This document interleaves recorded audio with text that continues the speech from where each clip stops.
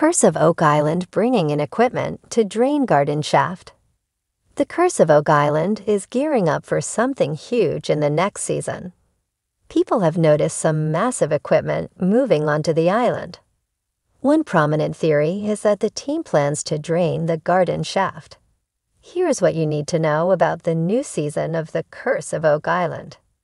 Is the Curse of Oak Island planning to drain the swamp?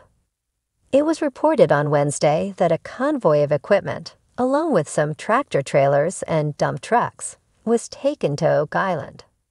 A big project is coming, and it is almost surely part of the next season of the popular reality TV show. The news was accompanied by many photographs on the Facebook page for Oak Island from the other side of the causeway. Other photos showed what looked like work getting ready to start on the garden shaft. The company bringing the equipment is Soletanche Bachy Canada, a construction company that provides innovative geotechnical solutions. On Wednesday, they moved their equipment to Oak Island throughout the day. They also brought in a lot of pumping equipment, which makes it look like they are about to drain the garden shaft. This news could be significant because the Curse of Oak Island spent a lot of time in the last two seasons sending down cameras and exploring what was underground from a distance. What is under the garden shaft on the Curse of Oak Island? The Curse of Oak Island team found what they thought might be a cavern that might contain the presumed buried treasure. Now they need to get down there. All this equipment could be used to drain the swamp.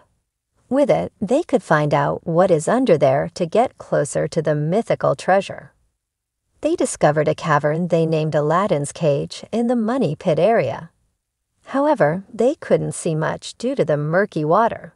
This means they might want to drain the swamp to get a better look. On Thursday, the same Facebook page showed that the equipment was indeed in the Money Pit area.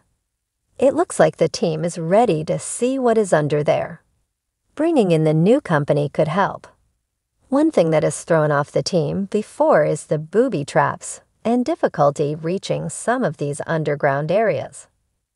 It sounds like Soletanche Bachy, Canada, could be there to finally break through and find out the secrets underneath the island. The Curse of Oak Island is supposed to return to History Channel in November 2024 for season 12.